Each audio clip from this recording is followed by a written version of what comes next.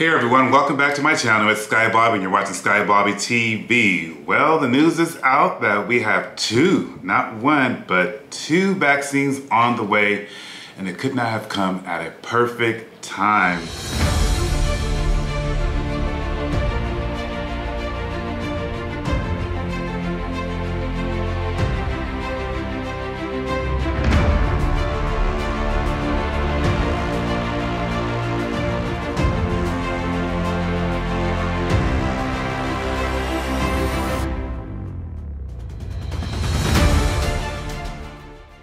Be able to travel again. Life is getting back to normal, but it won't be overnight.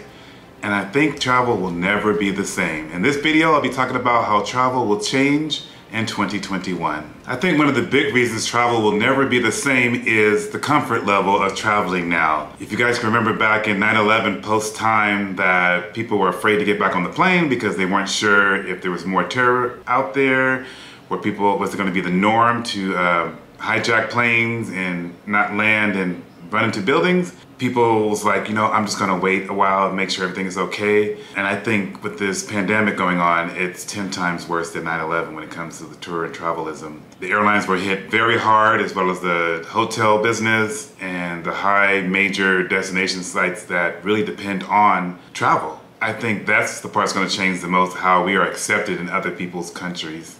Millions of people has lost their job in the tour and travel business, so staffing, customer service, that's all going to change. I think one of the fundamental things about traveling for me is the leisure and the freedom travel gives you, that you can travel anywhere, especially as an American. You get an American passport, and it was the darling of the passports. If you had a US passport, you can go anywhere in the world. You might need a few visas in a couple of countries, but pretty much you can get to any country.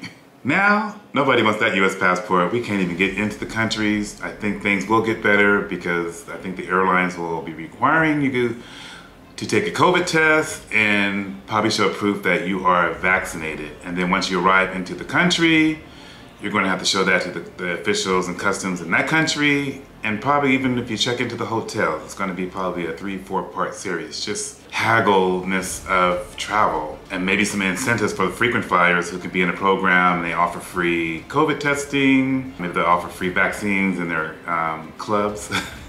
Wishful thinking. It just won't feel the same. The beauty of traveling was just the fundamental right of just getting up and go, especially if you're in the travel business like myself. If you don't know me by now, I am a flight attendant for a major airlines and I fly for free and I make sure that I fly. I am, I'm also kind of nervous that will the vaccine work? Will areas that people um, travel to that are high yield destinations like Hawaii, will that ever be the same?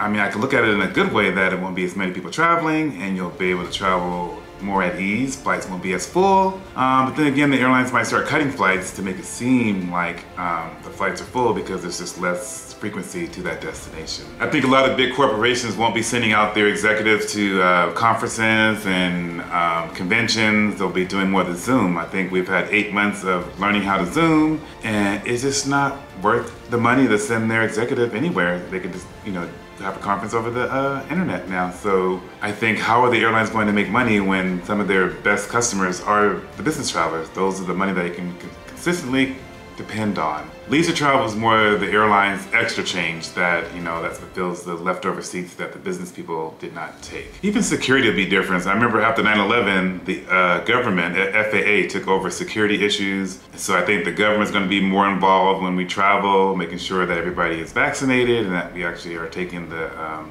mask serious. I think the mask will be around, yes, people. The mask will be around for another year or so because you gotta get everybody vaccinated and it's still close quarters in the airplane, so I'm pretty sure the airlines are going to be requiring the mask for at least another year, which I know, I know, I hate it too, I know, but to get out of this situation, we all got to wear that mask. It is what it is. I also think things will never be the same because the local citizens of the places that we travel, to give you an example, I was in Hawaii a couple of times as an essential worker, as a flight attendant, and when we lay over, I would hear things that they were kind of happy that people were gone. They need our business for the tourism, but they feel that they're the reason why they're going back into quarantine is because we're not behaving wearing our masks and that we are uh, keeping them in quarantine even though they're the local people. also like in Italy where the canals are clear water now. You can see dolphins coming into the canal because there's just not as much traffic.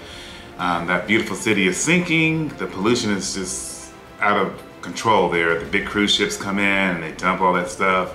Uh, just not cute. And so I think their locals are going to give us a second eye, which believes that I think that's how people are going to change their travel. I think people are going to stay away from the big cities and the big high yield destinations like major cities and try to do things like maybe the countryside, less tourist areas um, where you know people are more accepted because there's not big crowds or anything. For me, I'm gonna start off slow. I think we all forget, we're always trying to get on the airplane and try to get a, a, abroad and go somewhere international.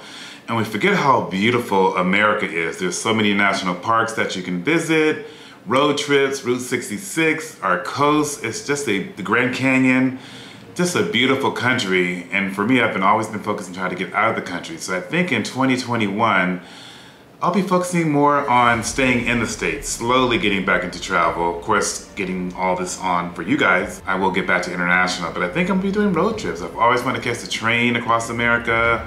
I always want to do, well, not camping, but I want to do glamping. and I think that's what's gonna be, amongst other people, I'm gonna start off slow and work the way into back to international travel. So I think travel won't be back to normal until 2022 and whatever normal means, but I'm ready. I'm ready to get out. I'm eager. I'm excited about the vaccine. I'm quite not sure if I'll be the first taking it, but if it gets me to travel, hey, I was skeptical about the flu shot, but I take it now and knock on wood, I haven't had the flu since, so we will see. So I didn't want to make this video too long. I thank you guys for popping in and checking me out if you're gonna travel or not, because I wanna know. but I definitely will travel in the next year, but I'll be more cautious. Thank you for watching again, and I'll see you on the next video. Bye, girl, bye.